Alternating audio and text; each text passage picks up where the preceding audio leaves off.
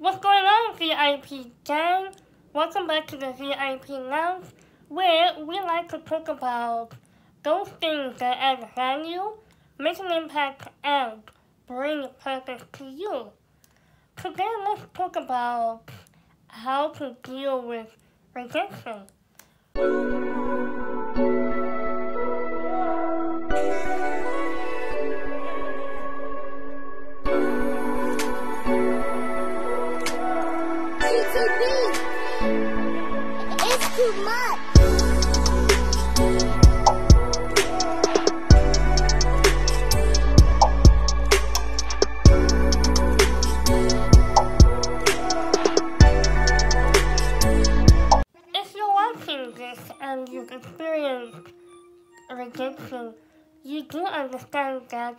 It's not a nice feeling. In my opinion, it's actually quite disturbing if you ask me. It's really painful, oh my gosh. Such a horrible experience. I've been there, I've done that, and I'm here to share with you my coping methods. So to start off on number one, control your emotions. Learn to manage how you feel about your ex or your crush.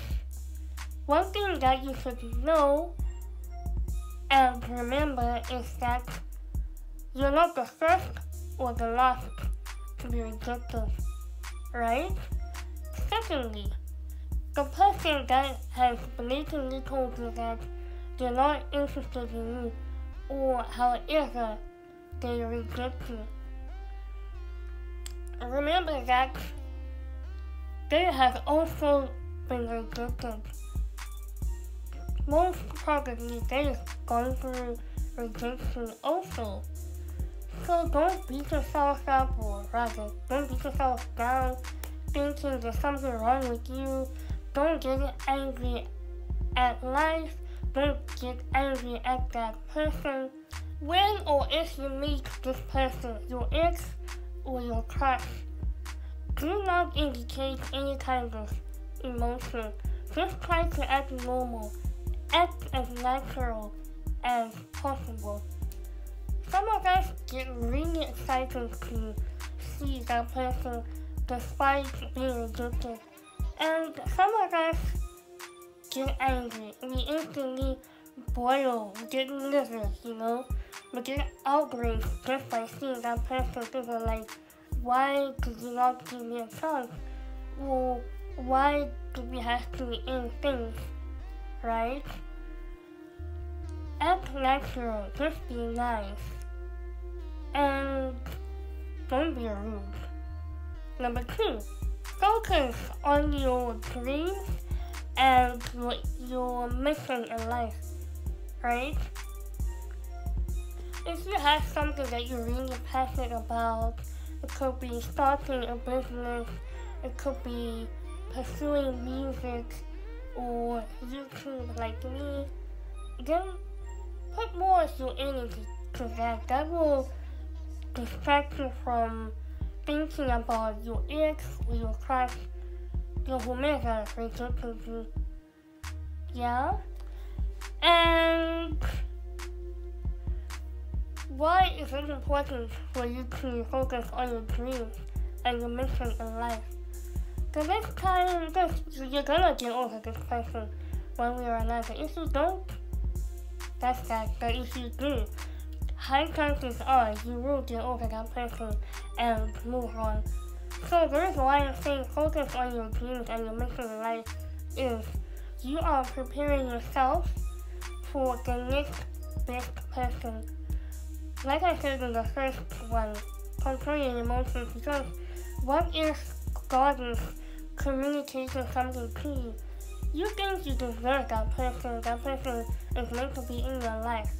But as I said in my previous video, God has a very unique and special way of working in our life and communicating with us. So be grateful. If didn't work out, it didn't work out. The next person is gonna come through is gonna see how motivated you are, how driven you are, and how focused you are, you're gonna see somebody who is stable, somebody who is determined to glow up, get their bag out, and do what they love. That's why we're attracted to the next best person. Number three, invest in yourself more. What I mean by this literally is take care of yourself. Indulge yourself in self-care, self-love. This could be getting a mani- manicure, pedicure. If you have the money, time to go to the spot. If you don't, learn how to do it on your own. If it's a skill that you've been wanting or meaning to learn, be it on YouTube or facility, it could be cooking, baking, sewing, uh, what else? Playing football, playing an, uh, a musical instrument. It could be just upping your your hygiene, just taking care of yourself, allowing yourself, paying more attention to yourself is good for your physical and mental well-being, even your spiritual.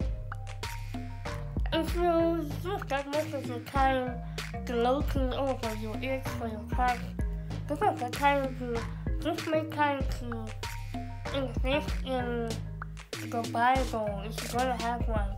Go to church, things like that. Just engage yourself in things that make you feel good, things that get you out of your rejection funk or state of limbo, right? And what else? Yeah, get you some nice clothes, put on some makeup if you like it, spray your favorite fragrance, and sleep. Sleep well. Don't waste your time thinking about someone who's entertaining somebody else and living their best life. Get some rest. Just have time to yourself. Number four, meet new people and socialize. You never know, among those people that you meet be the love of your life. It's really fun to meet new people and hang out with people, learning to interact with other people other than people that hurt you or rejected you. I'm, I'm speaking from experience. I had a really social 2022. I met so many people. Number five, I think this has to be one of the most important points for me. Minimize or cut off completely. Minimize or cut off interaction with your ex or your crush completely. Because that will help you to move on faster. That will teach you not to hold on to this person because it's not healthy. It's really not healthy for you to be stuck on this person. You need to remember that life is short and you deserve to be around people that actually care about you. People that want you around. This is gonna be wasting your time texting and calling and stalking this person on social media or in their neighborhood or wherever, then you're not doing yourself a favor. You're actually taking several steps backwards instead of taking steps forward and doing what's good for your soul, for your spirit, for your mind, for your body even. That is it for this video. If you have anything else to add on to my list on how to deal with rejection, please do leave a comment down below. Subscribe if you haven't subscribed and if you also enjoyed this video, like as well. I really enjoy interacting with you guys. So if you are a returning subscriber, please do comment down with the red rose emoji. I will really, really appreciate you if you do that. I will see you guys next time. And let's deep again. And let's deep. Bye. Thanks for watching.